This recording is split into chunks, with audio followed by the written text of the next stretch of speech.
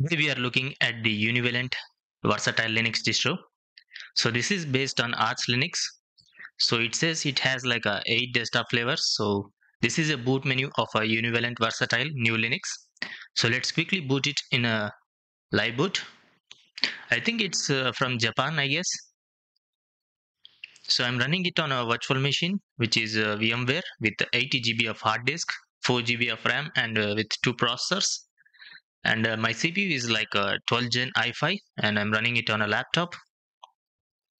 So it takes a few seconds to load up I guess. So we need to wait for a few more seconds and we should be seeing our desktop layout I guess. I don't know anything about this Linux distro because I randomly found it on the internet. So this is new for me too. So this is a logo. Uh, looks like a Windows 11 loading thing uh, Windows 10, Windows 8 like that. We don't know how the uh, desktop will look like.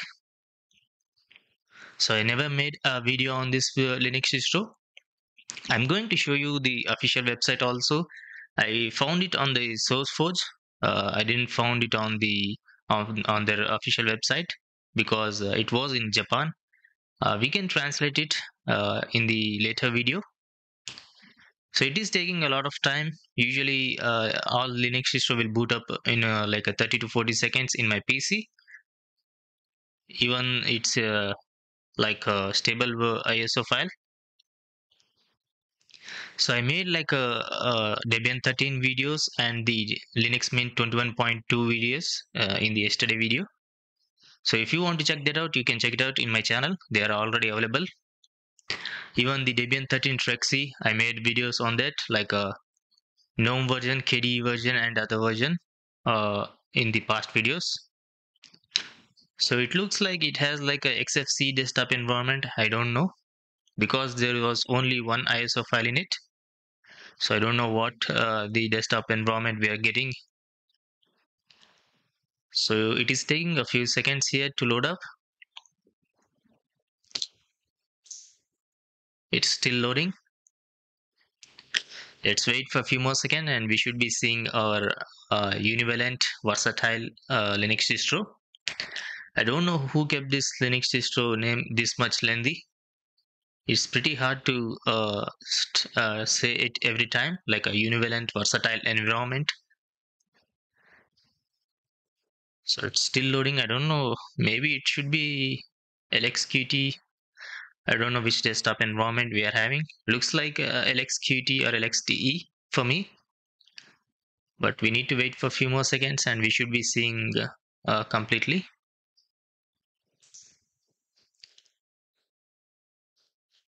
So let's type in display first. Uh, let's try to change the uh, display resolution. I think it's not uh, display. Let's type in monitor maybe. Nope it's not a let's uh, customize and feel if it's you don't even get the there is nothing here. Let's close this thing.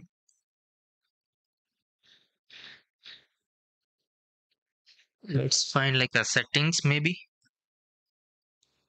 Settings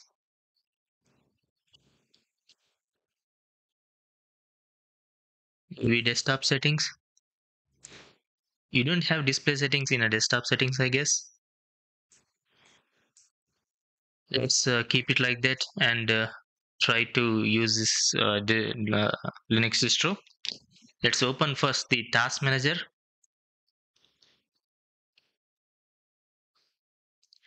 So CPU is almost like a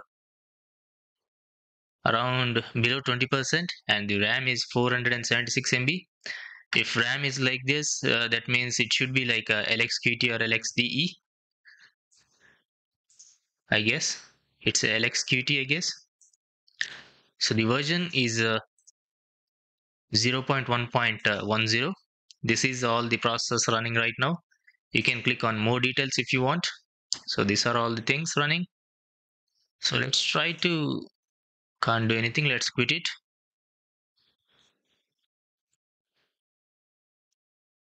Nothing is working here. Is our internet connection clipboard keyboard. Uh, let's open the terminal. Let's check the version of the terminal. 1.0.4 let's type in the commands like a inxi command not found. Maybe neofetch should be installed. Operating system univalent versatile environment 23.07 i think it's uh, 2023 07 is uh, july. And the kernel version is a 6.4.1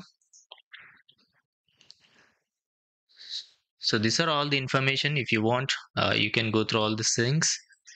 So in order to change the uh, display settings you need to type in some commands. So i'm not going to type in i'm going to leave it like this so let's type in other command like for example cat colon slash etc issue.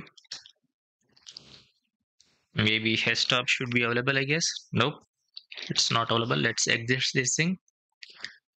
Let's go to their official website by launching the firefox web browser.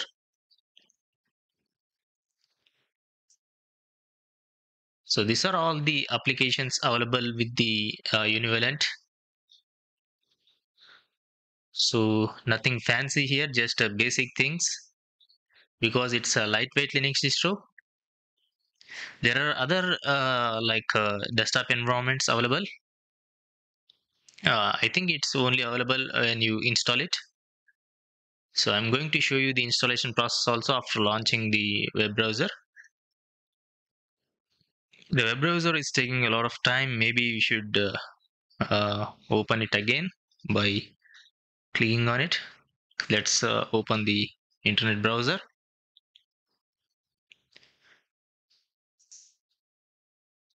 So it is not opening. Let's uh, go to the installation and uh, then go with the browser.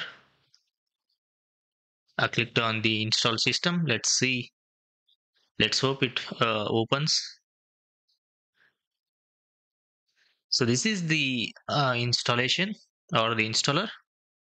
The version is 23.08 i don't know uh, in the like in few minutes back it was like a 23.07 but the installer says as the 23.08 that's pretty weird. The Calamares installer is a 3.2.62 so first you need to choose the language. This is some basic uh, installation thing. There's nothing complicated in here. First you need to choose the language every linux distro has the same installation style so no need to worry or so let's go to the location first. Uh, you can choose your location. You don't need to provide your actual location. You can provide anything. And you can customize here if you want. Let's click on next. You need to choose your keyword or you can type in here to test it. Click on next. So you'll be having like a two uh, installations here if you choose this erase disk it's going to delete the current operating system media files all the things. Firefox open now after like uh, uh, two minutes i guess. Two three minutes. No problem. Let's uh, keep it aside and go with the installation. You need to choose your hard disk. If you want to delete the current operating system delete everything like a media files videos all the things you need to choose this option. Uh, if you want to uh, dual boot uh, you can go with the manual partitioning and uh, if you want to encrypt you can provide the password in the boxes which should be same in the both the boxes. And then click on next. It's going to uh, give you the username and password. You need to provide the username and password here. For example i'm uh, going to type in run boxing as the username. If everything is going good you should be seeing a, a tick mark uh, beside the box. You need to provide the strong password here. And try to remember the password all the time if not just write it down in somewhere. So log in automatically without asking for the password. You can do this uh, on your own. Uh, these are all the things. After this click on next. You should be seeing a summary of what you choose in the previous steps of the installation. After this uh, click on install. It's going to install uh, the uh, univalent linux distro on your uh, hard disk or virtual hard disk whatever you choose there so i'm not going to install i'm just showed you uh, the installation style. So let's close this thing and let's go to their official website. So i'm going to show you the source sourceforge and the uh, this thing also. Their official website also. Let's uh, type in univalent univalent versatile linux distro i hope it's uh, uh, here we have the source code and the osdn has the uh, iso files. So let's uh, choose the source code you can choose uh, source code or the osdn so it's based on arch linux. And uh, they have like a eight desktop layers it says. Lxqt xfce plasma and more and almost complete a japanese environment it says so this is the official website let's uh, click on it so this is the official website of the uh, univalent versatile uh, linux distro so let's if you want to uh, translate this you just need to copy and go to the Google Translate. Click on enter. Just go to the official website. I'm using a VPN, so that's the reason I'm seeing all these things. Go to the websites and uh, paste the uh, website uh, which you copied. This is the website I copied from there. Just click on enter. It will translate everything in English. So let's close that thing. Here is the English language, New Japan Broadcasting. So if you want to read everything, you can read it here. So Japan is fifth Arch-based uh, distro. Uh, you can download it from here. Ubuntu system like uh, Windows 95. If you want to see this uh, Linux distro, just uh, uh, comment down below. I'm going to make. I, I should. I will be making a video if you want it's Kamuriki Linux I don't know how to spell it no problem if you want to watch this video just uh, comment down below. I will be making a video if you want. It looks it says like a Windows 11 9, Windows 95 so if you want again I'll be making a video for you. So let's close this thing. Let's go to the source code go to the files. So these are all the available files. Uh, I just downloaded from here like clicking on it. The file size is around like a 2.0 uh, GB but it should be like 1.8 GB I guess. I don't know for some reason uh, the download uh, was very slow in the morning when I downloaded and I'm using a VPN right now. Again it is uh, too much slow. It says like a 130 KB I choose the pro problems downloading and uh, went to the other server. The only server was available was the United States, but it was uh, also the slow one. So let's try to download it from the OSDN. Maybe it should be a fast one. Let's go to the versatile.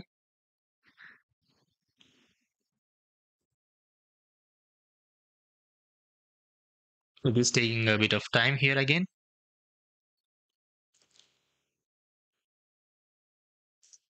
OSDN is not loading. Let's uh, close this download. Maybe it should be working like that. Nope.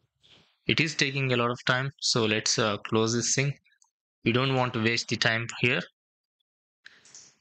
So I think we saw everything. We saw the installation. We saw how to download. We saw the task manager. Let's uh, customize and uh, look and feel. Let's see that also so we have like uh, this much of widgets color icon theme mouse cursor font and other you can customize on your own if you want let's uh, apply the relic and about LXAppearance 0.6.3 arc so this is the lxqt desktop environment so let's uh, see other uh, things also I think this is a mail client, uh, email client, like a Claws Mail. Let's open that too.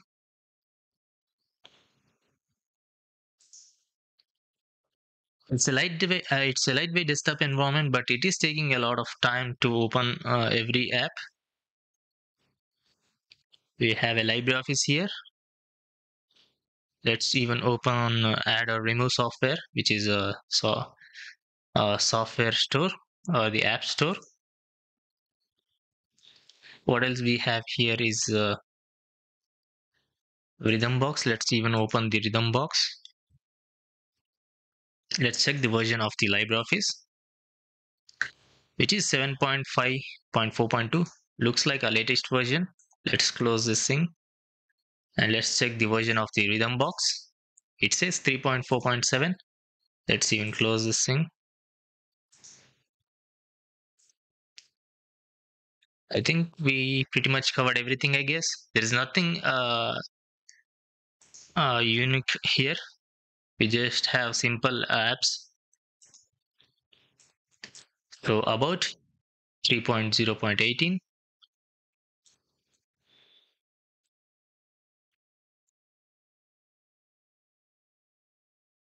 can't close. I don't know why. Nothing is working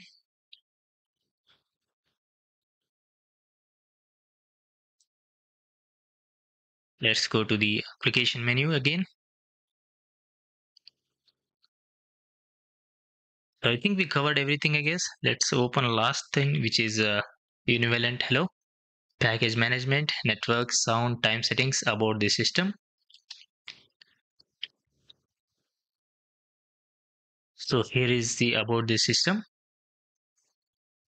Let's uh, open the task manager and end the video we pretty much covered everything I guess. Here is the mail client after like a two minutes. No problem. Let's close it. The CPU is running around 25%, 40%. It's below 40% and the RAM is almost like a 700 MB. So this is a lightweight Linux distro. Uh, if you want to try it, you can try it. I'm not going to recommend because I don't know anything about this uh, Linux distro, so I can't uh, recommend this. Only if you want to test it on like a virtualization vmware or virtualbox uh, you can try it. So don't use it as like a work pc on uh, or main pc for like this distro. So i think that's it i guess. We covered everything so let's shut it down so again, thanks for watching. I hope you enjoyed this video. If you did, hit the thumbs up button. It helps make a good content for you. Other than that, I'll see you in tomorrow's video. Peace out. So there is already a video available right now because I'll be posting two videos daily. So if you want to check that out, you can check that out after watching this video. Peace out.